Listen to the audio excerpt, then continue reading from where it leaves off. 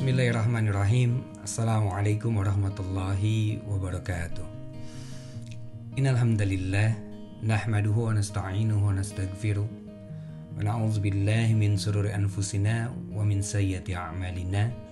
Man yahdihillah falamudillalah Wa ma yudlilhu falahadiyalah Ashhadu an la ilaha illallah wahdahu la syarika lah. Takriran bihi wa tauhidan. Anna muhammadan abduhu wa rasuluhu اللهم لا سهل إلا ما جعلته سحلا وأنت تجعل الهزن إذا شئت سحلا اللهم إنا نسألك حبك وحب من أحبك وحب عمل يقربنا إلى حبك برحمتك يا أرحم الراحمين.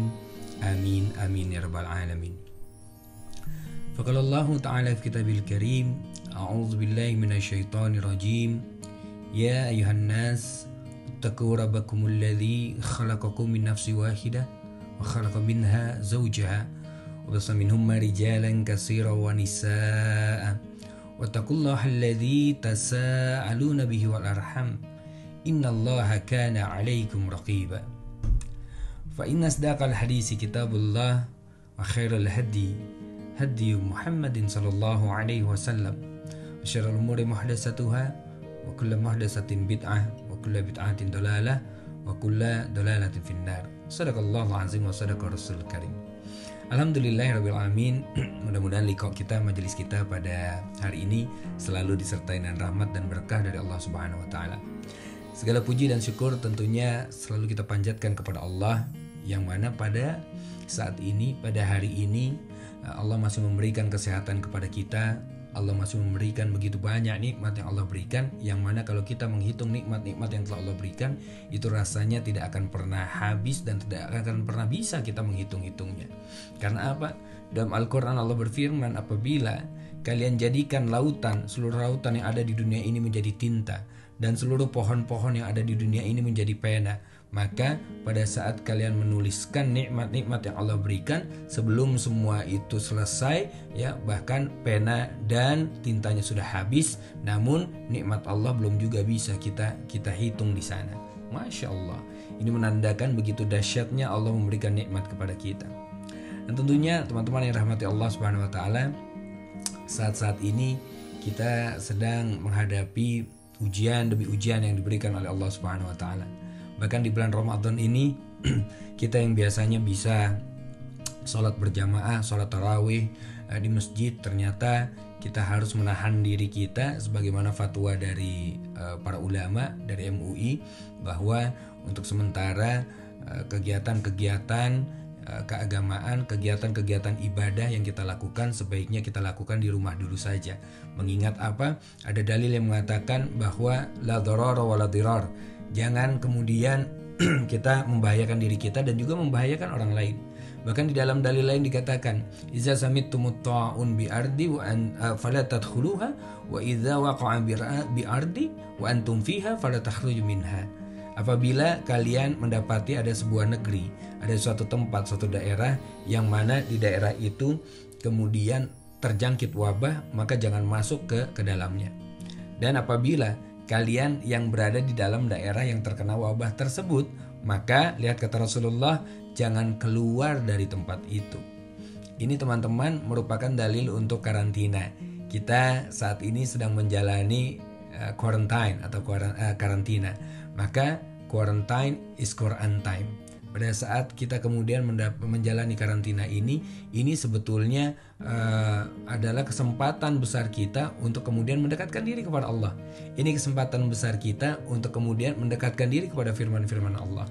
Selama ini kan kita mengeluh, mengeluh, aduh nggak bisa baca Quran uh, yang lama nih, aduh gara-gara kerjaan, gara-gara ujian, gara-gara yang lain-lain, semuanya kemudian kita nggak bisa yang namanya uh, mempunyai waktu khusus untuk mendekatkan diri kepada firman-firman Allah.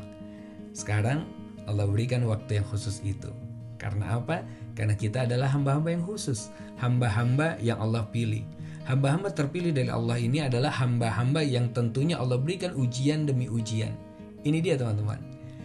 Saya akan mengangkat satu tema pada hari ini yaitu mengenai bahagia dalam ujian. Waduh Ustadz, kok bisa ya? Apa bisa kita dalam ujian kita bahagia?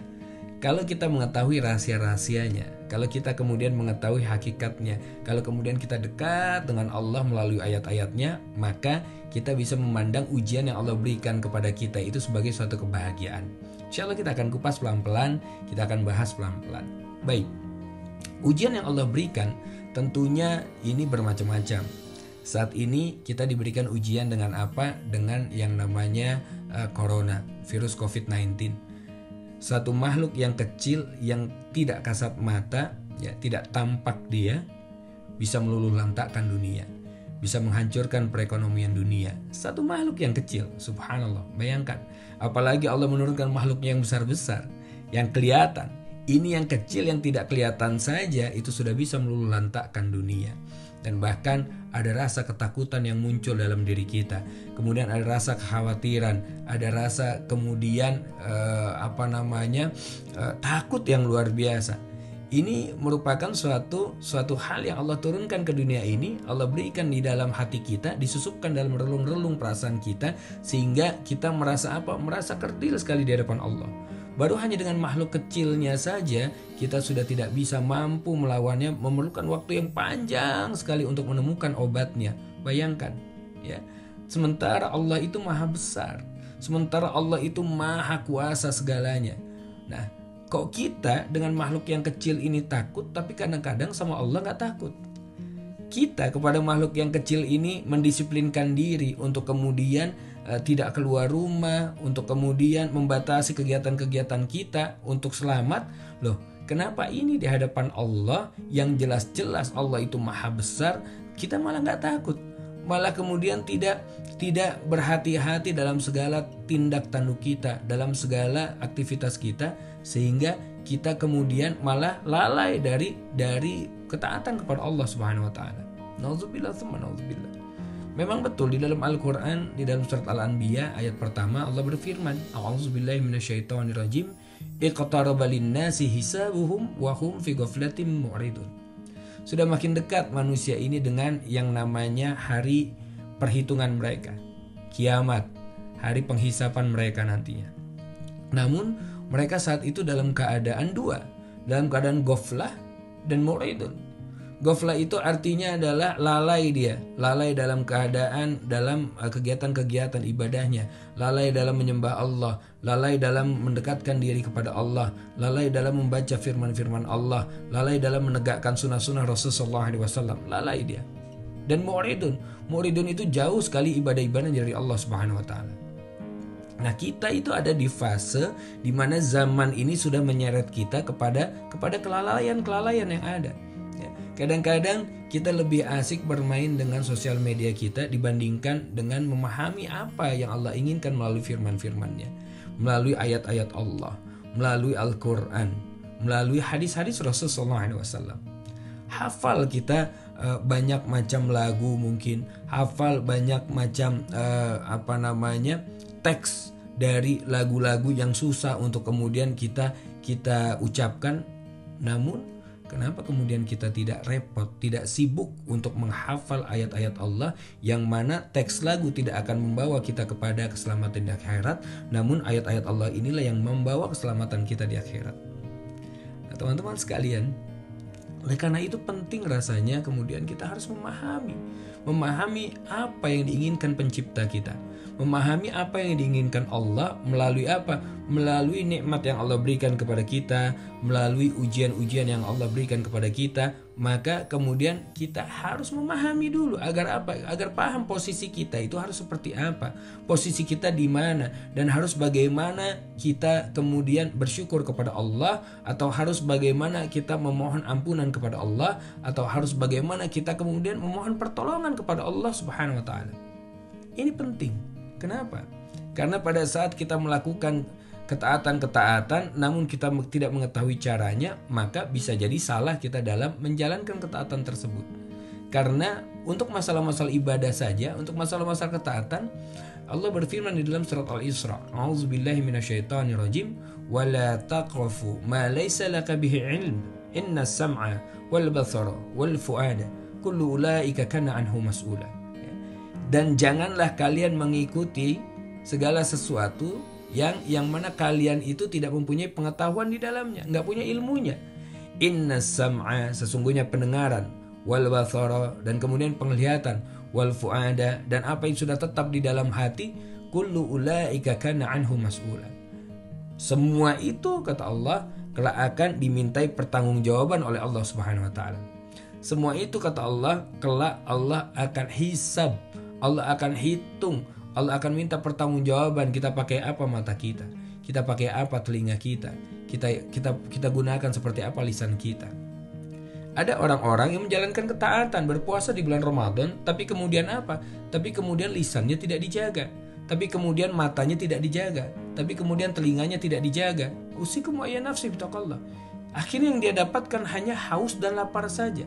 Akhirnya yang dia dapatkan hanya apa? Hanya kemudian Eh, sia-sia belaka. Dia tidak mendapatkan dosa karena dia menjalankan kewajibannya. Namun kemudian pahalanya belum tentu. Karena apa? Dalam menjalankan kewajiban, dia banyak melalaikan hal-hal yang kemudian menjadi penting dalam hitungan amal kita. Yaitu apa? Jaga mata. Allah berfirman di dalam surat An-Nur eh, ayat 30 untuk laki-laki, ayat ayat 31 untuk wanitanya. Ya. Kulil mu'minin yaguddu min absorihim. Katakan kepada laki-laki beriman, jaga pandangannya. Kulil mu'minati kulil mu kulil mu'minati yagdudna min absorihinna wa yafazna furujahunna ila akhir ayat. Dan katakan kepada wanita-wanita beriman jaga pandangannya dan kemudian jaga apa? Mohon maaf, jaga kemaluannya. Dari mata lompatnya jauh ke bawah. Bukan apa-apa, karena ternyata apa? Karena lihat, kalau kita memahami dahsyat sekali ini. Karena ternyata, ternyata perzinahan, ternyata kemudian yang namanya perselingkuhan itu bisa terjadi awalnya gara-gara apa? Gara-gara mata. Gara-gara lihat-lihatan, gara-gara lirik-lirikan, mulai curi-curi pandang, yang bukan mahram saling memandang satu dengan yang lain ada di satu tempat menjadi satu campur baur kemudian kadang-kadang ada yang berdua-duaan mau curhat tetapi lawan jenis Subhanallah. Ini kemudian bisa menjadi apa? Bisa menjadi pintu-pintu masuk bagi syaitan untuk mengganggu kita, untuk menggoda kita dan menjerumuskan kita. Usikum ya nafsi Dan kadang sekarang sosial media pun bisa menjadi sarana untuk untuk berbuat dosa seperti itu. Awalnya kita hanya melihat foto-foto yang ada, kemudian saling follow, saling temenan, kemudian saling mengirim uh, direct message, ya. Karena apa? Tidak ingin dibaca oleh orang lain maka kemudian itu sudah khalwat itu, sudah berdua-duaan di di sosial media. Akhirnya mereka janji untuk ketemu dan lain-lain. Sehingga apa? Sehingga hancurlah mahligai rumah tangga mereka karena apa? Karena ada hal-hal buruk yang dia lakukan di belakang pasangannya. Awalnya dari mana? Dari mata. Ini dia. Jadi luas sekali yang namanya uh, ilmu Allah ini sehingga kita harus memahami dengan mendekatkan diri kepada ayat-ayat yang Allah turunkan terhadap firman-firman yang Allah berikan kepada kita melalui Al-Qur'an. Kalau kita tidak mendekat kepada Al-Qur'an ini bahaya. Karena apa? Karena kompas kehidupan kita ini adalah Quran. Karena kompas kehidupan kita adalah Quran. Quran itu penunjuk jalan kita. Sebaik-baiknya penunjuk jalan adalah orang yang menciptakannya, ya. Misal, ya, saya membuat peta rumah saya. Maka saya yang paling mengetahui jalan-jalan mana saja yang tertutup, jalan-jalan mana saja yang macet, dan jalan-jalan mana saja yang bisa menjadi jalan pintas dan tercepat untuk masuk untuk sampai di rumah saya. Nah, kalau kita ingin kembali kepada kampung halaman kita, yaitu surga, tentunya zat yang paling mulia ini yang menciptakan langit dan bumi, yang memiliki surga dan neraka, yang memiliki jiwa-jiwa kita, yang mana ubun-ubun kita ada di dalam genggamannya juga. Ini adalah Allah Azza wa Jalla. Allah sebaik-baiknya penunjuk jalan bagi kita dan kemudian Allah turunkan penunjuk jalan itu kompasnya itu melalui Al-Qur'an. Kalau kita kemudian tidak memahami Al-Quran, tidak memahami ayat-ayat yang disampaikan Allah, kadang-kadang kita bisa apa? Bisa salah dalam menilai Allah. Kadang-kadang kemudian kita bisa suuzon kepada Allah, berprasangka buruk. Kita kemudian mengira dengan diturunkannya ujian ini, ya Allah, ini jangan-jangan azab. Azab apa? Kalau kita beriman, maka tidak akan mungkin kalimat azab itu terucap dari dari lisan kita. Karena apa? Karena Allah tidak akan mengazab orang-orang yang beriman, ikhwah. Allah itu nggak akan mengazab orang-orang beriman. Yang Allah azab orang-orang tidak beriman. Orang-orang beriman yang melakukan kekeliruan itu Allah luruskan, tidak Allah azab. Allah mengazab manusia itu kelak nanti di akhirat. Allah tidak akan mengazab seseorang itu di dunia kecuali ada satu hal. Apa itu? Pada saat seseorang itu durhaka kepada orang tuanya. Kalau dia durhaka kepada orang tuanya, maka ganjarannya itu kontan. Allah azab mereka di dunia, di akhirat nanti azab yang diberikan Allah kepada mereka itu jauh lebih pedih. Jadi kontan itu. Musikum wa ya nafsi Allah. Nah, teman-teman yang dirahmati Allah Subhanahu wa taala, jadi kita harus memahami, jangan sampai kemudian kita salah dalam memahami uh, keinginan Allah terhadap apa-apa yang sudah Allah gariskan dalam kehidupan kita. Allah sudah menuliskan skenario kehidupan kita layaknya seorang sutradara atau seorang penulis skenario ya itu sudah menuliskan skenario jalannya cerita dari dari A sampai Z dari awal sampai berakhirnya ya. maka pemeran di dalam skenario itu itu bisa menentukan apakah dia ingin memerankan perannya dengan sebaik-baiknya atau dia ingin memerankan perannya dengan malas-malasan apakah kemudian dia ingin memerankan perannya itu dengan dengan skill terbaiknya atau bisa juga dia perankan dengan buruk luar biasa sehingga yang menonton pun itu jadi malas untuk melihatnya. Sama. Allah juga sudah menggariskan yang namanya skenario kehidupan kita. Pertanyaannya, apakah kemudian kita ingin menjalankannya dengan sebaik-baiknya? Skenario yang sudah Allah tuliskan dan gariskan atau kita ingin menjalankan dengan penuh kelalaian skenario yang sudah Allah tuliskan dan Allah gariskan untuk kita. Apabila lalai ya siap-siap kemudian untuk mendapatkan apa? Mendapatkan yang namanya konsekuensi dari kelalaian yang kita lakukan. Tapi kalau kita kemudian tidak lalai dan bahkan kemudian kita menjalankan dengan sebaik-baiknya, maka ya siap-siap juga untuk mendapatkan balasan terbaik yang Allah berikan yaitu surganya Allah Subhanahu wa taala. Nah, Kemudian bagaimana Ustadz apabila kita ingin bisa merasakan kebahagiaan sementara kita dalam masih mendapatkan ujian dari Allah seperti sekarang ini. Ya. Teman-teman yang rahmati Allah Subhanahu wa taala, ujian yang Allah berikan sekarang itu tidak ada apa-apanya dibandingkan dengan ujian yang Allah timpakan kepada saudara-saudara kita yang ada yang ada di Palestina, yang ada di Suriah, yang ada di Ugyur, yang ada di Moro, yang ada di Rohingya. Itu ujian yang ditimpakan Allah ke sana itu itu jauh lebih berat. Dan kalau ujiannya jauh lebih berat, pastinya pahalanya jauh lebih banyak. Ini kan hukum yang ber, ber, berbanding lurus ini. Suatu hal yang kita kerjakan effortnya lebih pasti akan mendapatkan hasil yang lebih juga. Tapi kalau effortnya biasa-biasa aja, maka akan mendapatkan hasil yang biasa-biasa saja. Kalau kita sekarang mengeluh, aduh Ramadan jadi nggak bisa sholat di masjid ya, waduh nggak bisa buka puasa sama-sama sama teman-teman ya, subhanallah. Coba bayangkan sudah berapa kali Ramadan saudara-saudara kita di Palestina, di Suriah, di Rohingya itu tidak merasakan sholat di masjid. Bahkan sholat mereka itu di antara desingan peluru dan dentam, dentuman meriam. Sudah berapa lama mereka itu tidak bisa buka puasa bersama-sama dengan orang-orang yang diinginkannya.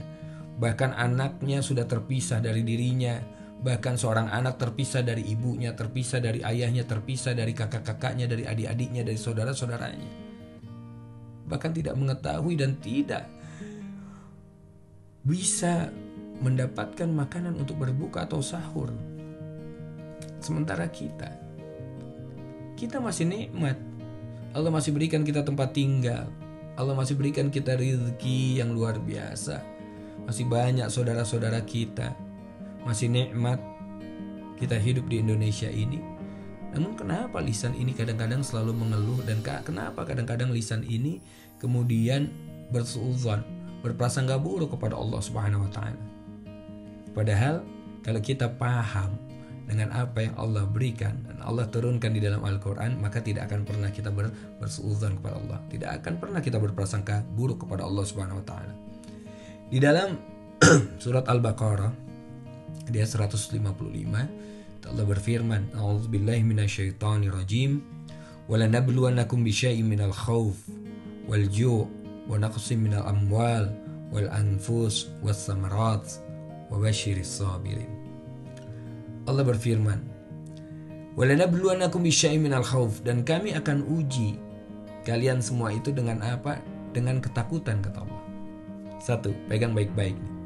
Allah akan uji kita itu dengan ketakutan. Sekarang kita sudah merasakan ikhwah. Sekarang kita sudah merasakan banget bahwa apa? Kita itu lagi khawatir, lagi takut, disisipkan rasa takut itu ke dalam diri kita oleh Allah.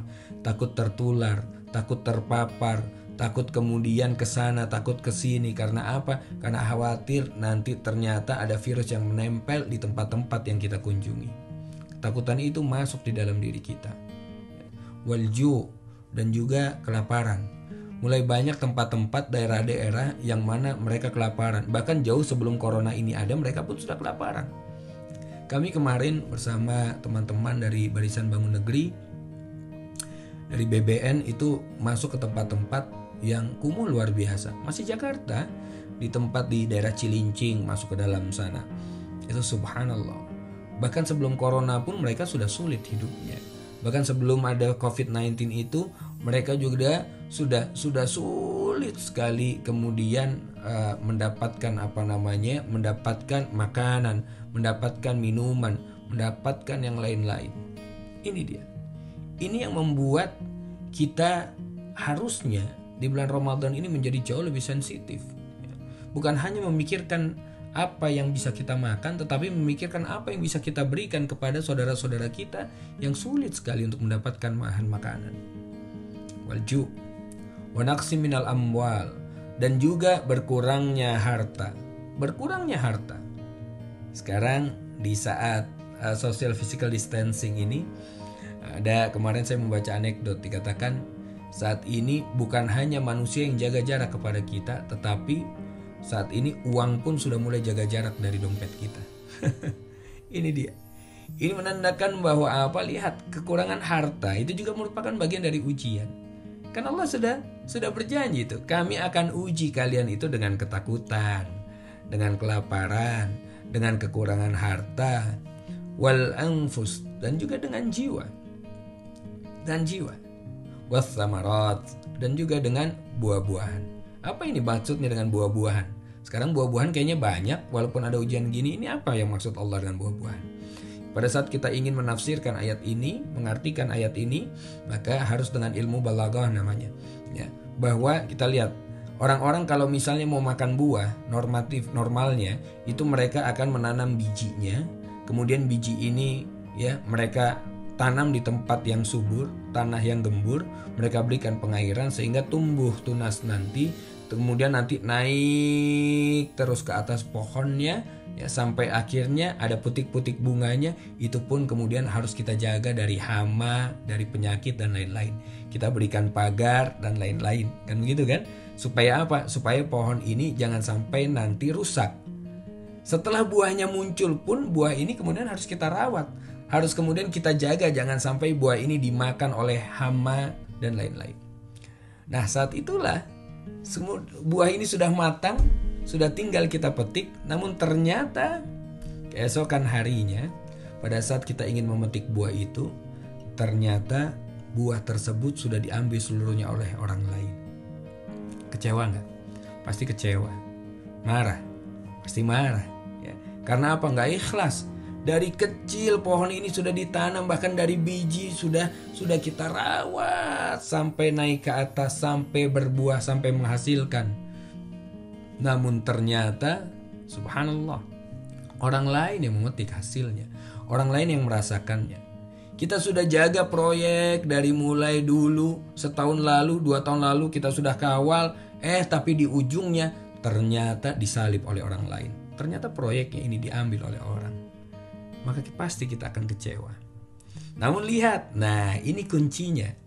Kemudian ayat ini Allah ikat dengan kalimat di akhirnya wabasyiris sabirin, wabasyiris sabirin. Dan sampaikan kabar gembira kepada orang-orang yang sabar. Apa kabar gembiranya? Nah ayat ini teman-teman ternyata ditafsirkan oleh ayat sebelumnya. Kalau kita baca Quran dari mulai ayat 152, 153, kita akan bisa mem memahami bahwa apa? Lihat, Ya ayyuhalladzina amanu ista'inu bis sabri was salah innallaha.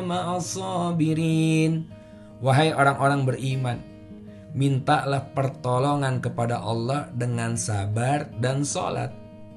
Innallaha ma'as sabirin. Sesungguhnya Allah bersama dengan orang-orang yang sabar. Ini dia. Allah bersama dengan orang-orang yang sabar.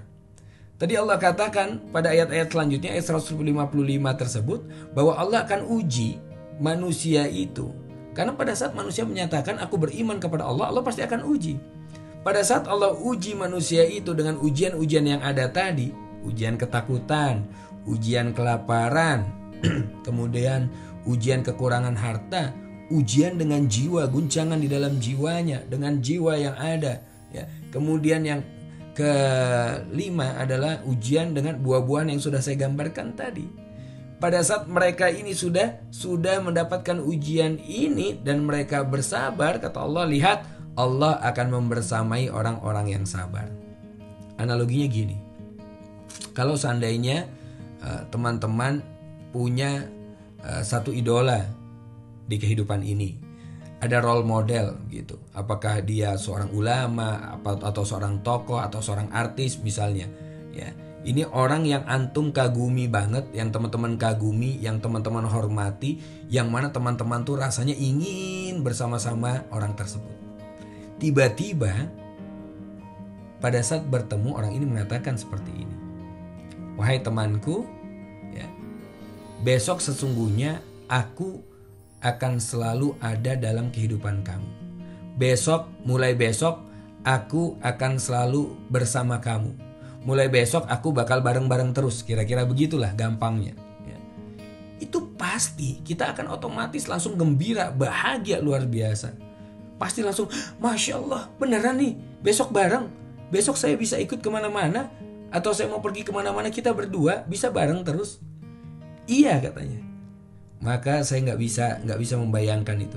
Bagaimana kebahagiaan kita bagaimana luapan kegembiraan kita bahkan bisa-bisa nggak bisa tidur malamnya itu. Karena apa? Mikir kalau besoknya bakal ditemenin sama siapa? Sama orang yang betul-betul kita idolakan Nah ini yang mengatakan hal tersebut, wahai orang-orang yang bersabar, aku sesungguhnya akan membersamai kalian terus, bakal bersama-sama sama kalian. Allah yang mengatakan itu. Kalau kita kepada orang yang kita idolakan saja, yang mana orang yang kita idolakan ini saja masih bergantung kepada Allah, masih bermohon kepada Allah, itu senangnya luar biasa. Harusnya pada saat Allah mengatakan, Aku akan bersama dengan orang-orang yang sabar. Kabarkan kabar gembira kepada orang-orang yang sabar. Nah, ini langsung harusnya kemudian kita merasa bahagia dengan kabar yang Allah berikan ini. Ujian yang Allah turunkan termasuk COVID-19 ini ya, ini adalah ujian yang hanya akan mendekatkan diri kita kepada Allah yang hanya akan menaikkan kemuliaan kita di sisi Allah, yang hanya akan mempertebal ketakwaan kita di hadapan Allah pada saat kita sabar dalam menjalaninya. Maka, teman-teman yang dirahmati Allah Subhanahu wa taala, bahagialah pada saat kita mendapatkan ujian dari Allah.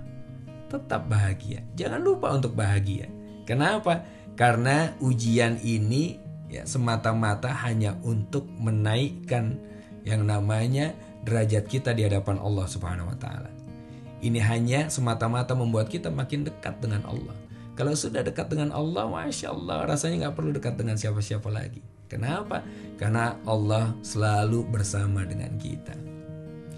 Bahagia dalam ujian ini adalah pesan dari Allah. Wabashiris sabirin. Siapa mereka itu? Alladzina idza asabathum musibah qalu inna lillahi wa inna ilahi rojiun yaitu orang-orang yang apabila ditimpakan musibah oleh Allah kemudian mereka mengatakan ini semua asalnya dari Allah dan ini semua akan kembali kepada Allah. Dengan gembira dengan bahagia. Karena apa? Karena saat itu dia tahu bahwa Allah mencintainya dan Allah akan memberikan ujian kepada dirinya untuk menaikkan derajatnya mudah-mudahan kita semua adalah orang-orang yang tetap bisa bahagia pada saat diberikan oleh ujian kepada Allah. ini saja yang mungkin bisa kami sampaikan. Mohon maaf apabila ada kata-kata yang kurang berkenan. Uh, jazakumullah khair ala husni istimaikum lakum minnal hubb wa du'a. Assalamualaikum warahmatullahi wabarakatuh.